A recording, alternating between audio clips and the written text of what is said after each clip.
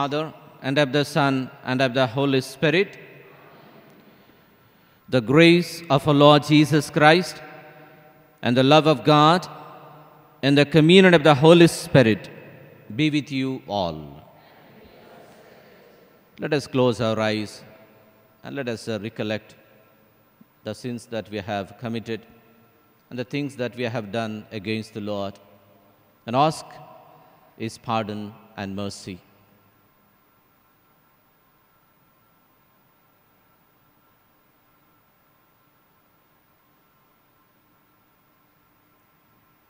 I confess to Almighty God and to you, my brothers and sisters, that I have greatly sinned in my thoughts and in my words, in what I have done and in what I have failed to do, through my faults, through my faults, through my most grievous faults.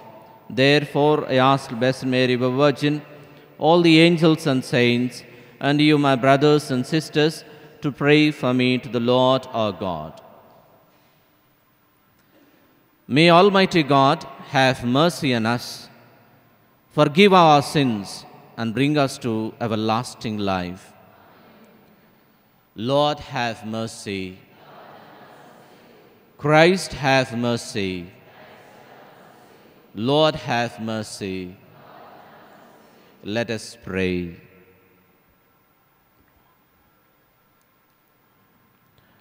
O God, who in the abasement of your Son have raised up a fallen world, fill your faithful with holy joy. For on those you have rescued from slavery to sin, you bestow eternal gladness. Through our Lord Jesus Christ, your Son, who lives and reigns with you in the unity of the Holy Spirit, one God forever and ever. For the reading, kindly take page number 1019 from the Old Testament, 1019.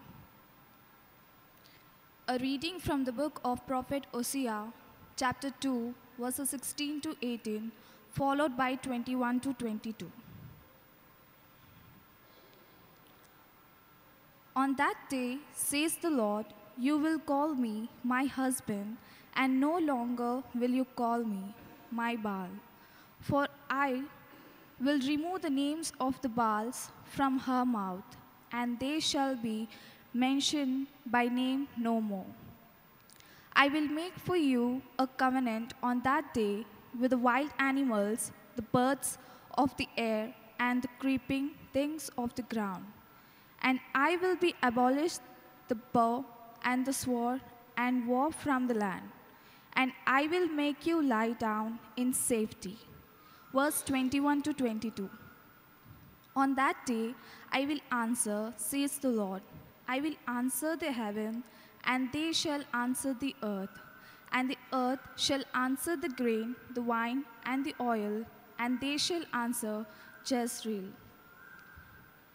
The word of the Lord. For the responsorial psalm, kindly take page number 666 from the Old Testament. 666. Psalm 145, verse 2 to 9. Let us recite together. Every day I will bless you and praise your name forever and ever. Praised is the Lord and greatly to be praised. His greatness is unsearchable. One generation shall loud your law and word, and shall declare your mighty acts. On the glorious splendor of your majesty, and on your wondrous works I will meditate. The might of your awesome deeds shall be proclaimed, and I will declare your greatness. They shall celebrate the fame of your abundant goodness and shall sing aloud of your righteousness. The Lord is gracious and merciful, slow to anger and abounding in steadfast love.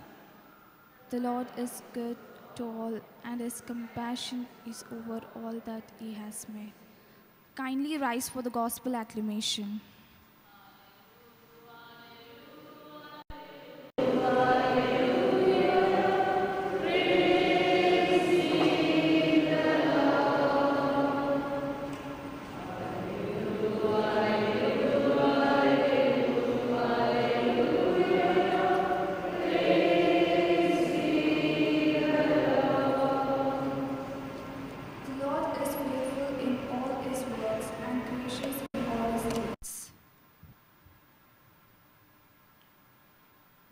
Be with you.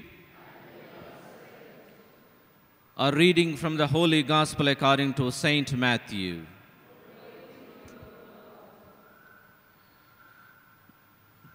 Chapter 9, verses from 18 to 26, page number 9. While he was saying these things to them, suddenly a leader of the synagogue came in and knelt before him, saying, My daughter has just died, but come and lay your hand on her, and she will live. And Jesus got up and followed him with his disciples. Then suddenly a woman who had been suffering from hemorrhages for twelve years came up behind him and touched the fringe of his cloak. For she said to herself, If I only touch his cloak, I will be made well. Jesus turned and seeing her, he said, Take heart, daughter, your faith has made you well. And instantly the woman was made well. When Jesus came to the leader's house and saw the flute players and the crowd making a commotion, he said, Go away, for the girl is not dead but sleeping. And they laughed at him. But when the crowd had been put outside, he went in and took her, ha- her hand by the hand, and the girl got up, and the report of this spread throughout that district. The Gospel of our Lord Jesus Christ.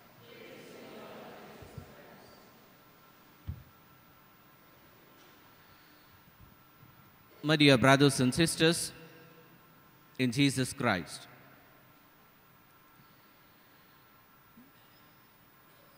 Jesus is healing two people in the gospel passage. One is uh, raised from the dead, the other is uh, healed from bleeding for so many years. And today we can uh, note two things for our spiritual growth. One is that woman, how he approached Jesus Christ. The way she approached is very simple.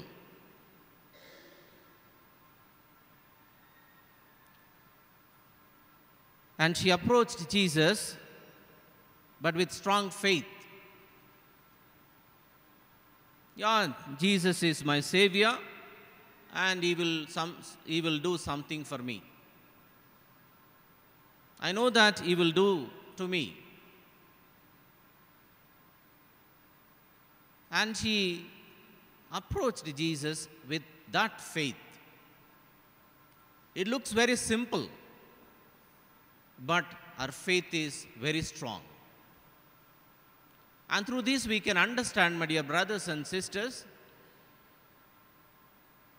we don't have to worry about the correct way of uh, approaching God.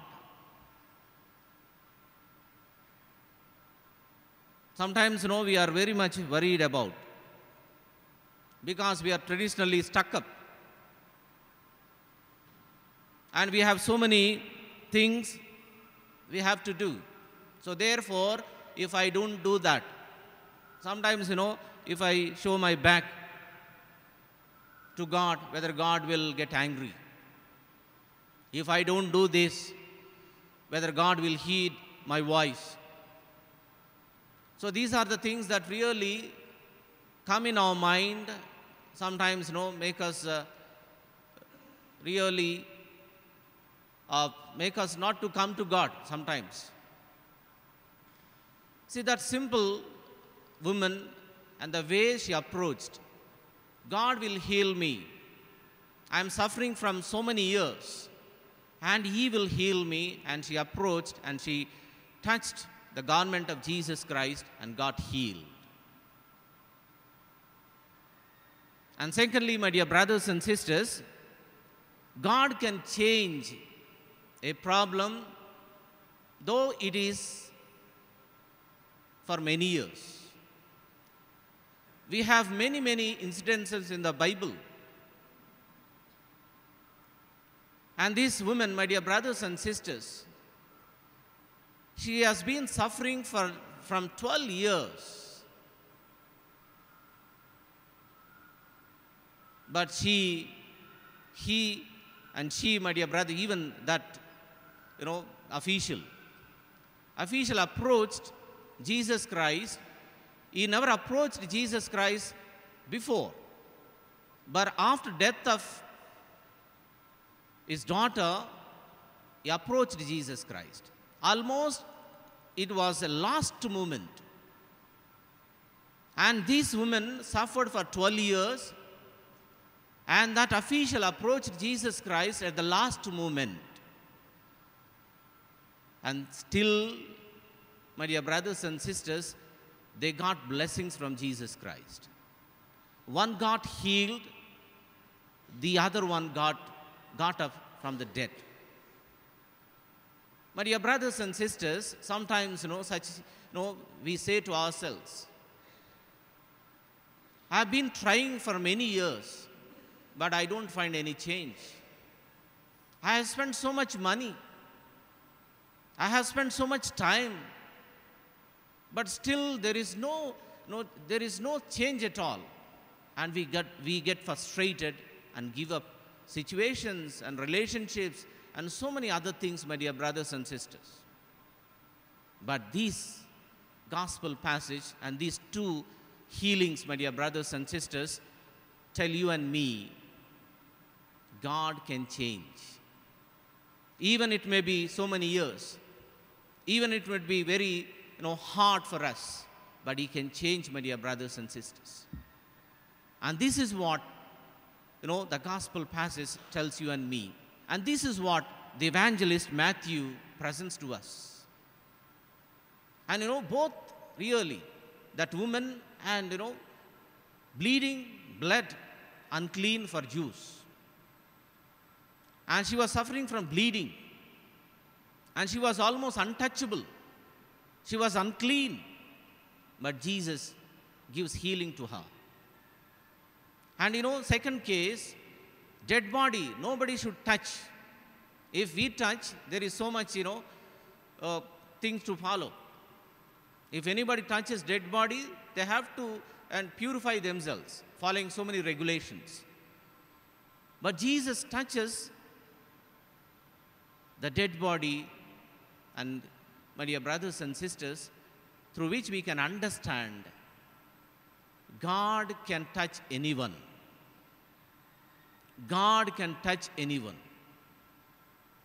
And then also there are two people, two kinds of people higher official and the common woman. But both got healed. He can heal anyone. God can heal anyone, maybe a rich or a poor, educated or uneducated, a clean or unclean. And this is what, my dear brothers and sisters, we can note from today's gospel passage. God can touch anyone, God can heal anyone, God can change any situation, though it is with us for so many years. So, therefore, when you and I are suffering from these kind of situations, let us remember that. Let us remember that Jesus is our hope. He can change. So, therefore, let us put our hope in Jesus.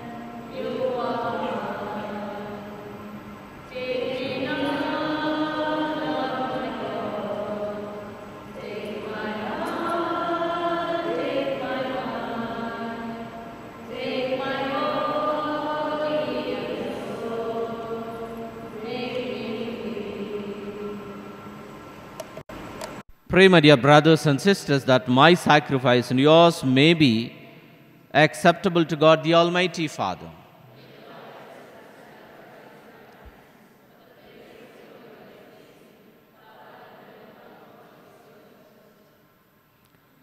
May this oblation dedicated to your name purify us, O Lord, and day by day bring or conduct closer to the life of heaven through Christ our Lord.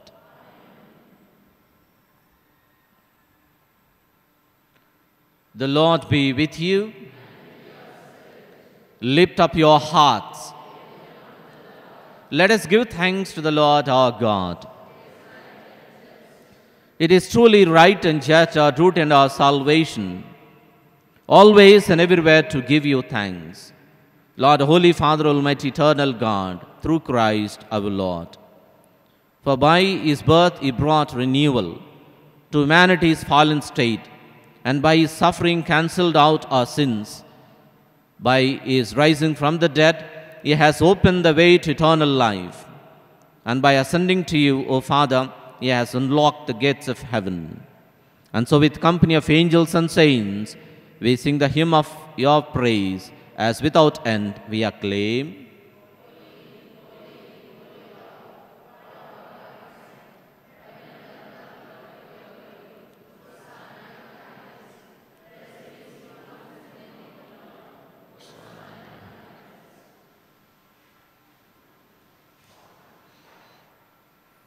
You are indeed holy, O Lord, the fount of all holiness.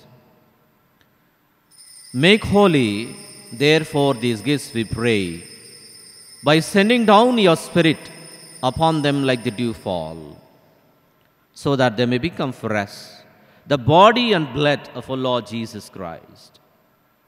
At the time he was betrayed and entered willingly into his passion, he took bread and giving thanks, broke it and gave it to his disciples, saying,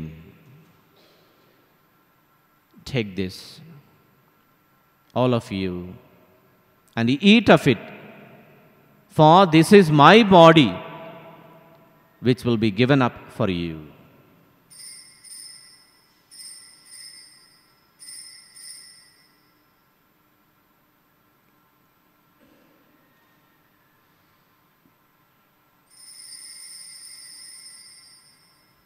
In a similar way, when supper was ended, he took the chalice and once more giving thanks, he gave it to his disciples, saying, Take this, all of you, and drink from it, for this is the chalice of my blood, the blood of the new and eternal covenant, which will be poured out for you and for many, for the forgiveness of our sins. Do this in memory of me.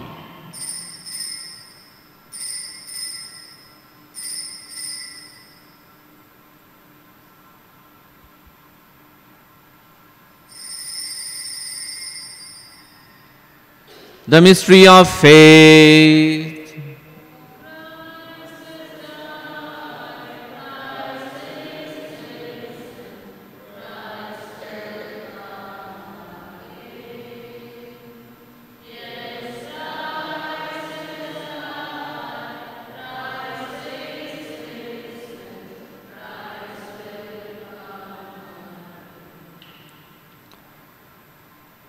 Therefore, as we celebrate the memorial of his death and resurrection, we offer you, Lord, the bread of life and the chalice of salvation, giving thanks that you have held us worthy to be in your presence and minister to you. Humbly we pray that, partaking of the body and blood of Christ, we may be gathered into one by the Holy Spirit. Remember, Lord, your church spread throughout the world and bring her to the fullness of charity together with Francis, our Pope, Bala, our Archbishop, and all the clergy. Remember also brothers and sisters who have fallen asleep in the hope of resurrection, and all who have died in your mercy, especially Rajaya Annamma, welcome them into the light of your face. Have mercy on us all, we pray that, with the Blessed Virgin Mary, Mother of God, with, with Saint Joseph, with the blessed apostles, and all the saints who have pleased you throughout the ages. We may merit to be co-heir to eternal life and may praise and glorify you through your Son, Jesus Christ.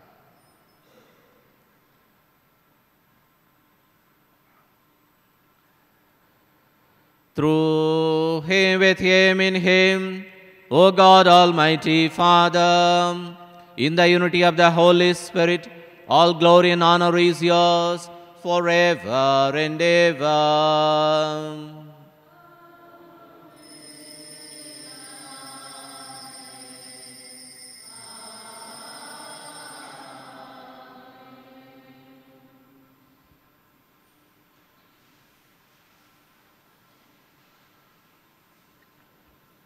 With the Savior's command and found by divine teaching, we dare to say, Our Father, what in heaven, hallowed be thy name, thy kingdom come, thy will be done, on earth as it is in heaven.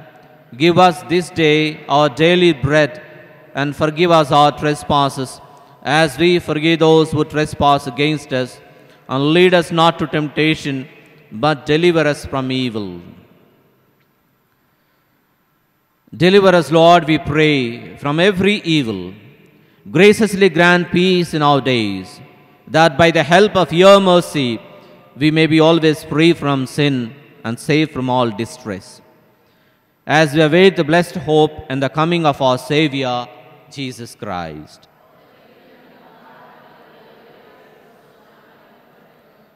Lord Jesus Christ, who said to your apostles, Peace I leave you, my peace I give you. Look not on our sins, but on the faith of your church, and graciously grant her peace and unity in accordance with your will, who live and reign forever and ever. The peace of our Lord Jesus be with you always. Let us offer each other the sign of peace.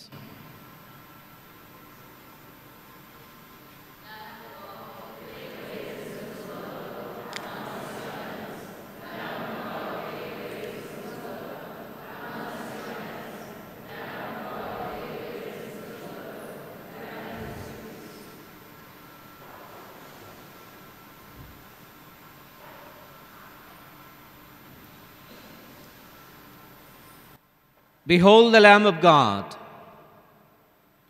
Behold him who takes away the sins of the world. Blessed are those called to the supper of the Lamb.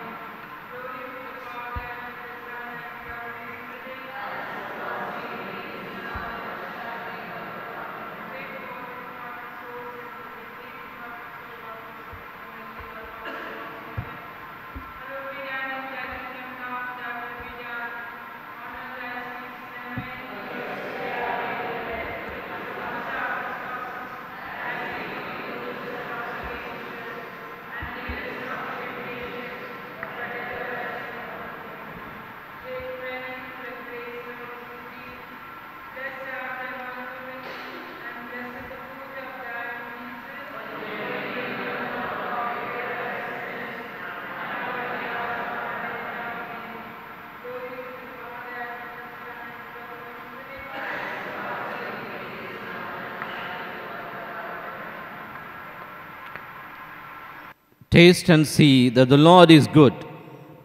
Blessed the man who seeks refuge in him. Let us pray.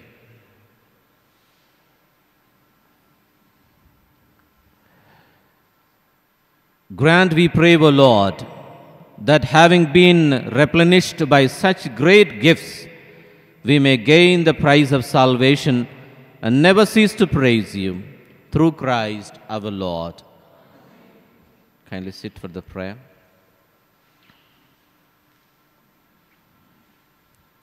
Let us say together, Lord Jesus Christ, you have taught us to be merciful like the Heavenly Father, and have told us that whoever sees you sees Him.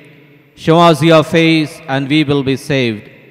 Your loving gaze freed Zacchaeus and Matthew from being enslaved by money, the adulteress and Magdalene from seeking happiness only in created things, made Peter weep after his betrayal, and assured paradise to the repentant thief. Let us hear, as if addressed to each one of us, the words that you spoke to the Samaritan woman if you knew the gift of God. You are the visible face of the invisible Father, of the God who manifests His power, above all by forgiveness and mercy. Let the church be your visible face in the world, its Lord risen and glorified. You will that your ministers would also be clothed in weakness, in order that they may feel compassion for those in ignorance and error. Let everyone who approaches them feel sought after, loved, and forgiven by God. Send your Spirit and consecrate every one of us with its anointing, so that the jubilee of mercy may be year of grace from the Lord and your church with renewed enthusiasm may bring good news to the poor, proclaim liberty to captives and the oppressed, and restore sight to the blind. We ask this through the intercession of Mary, Mother of Mercy, you will live and reign with the Father and the Holy Spirit forever and ever. Amen. Kindly stand for the final blessing. The Lord is with you. May Almighty God bless you, the Father and the Son and the Holy Spirit. The Mass is ended. Let us go in the peace of Christ.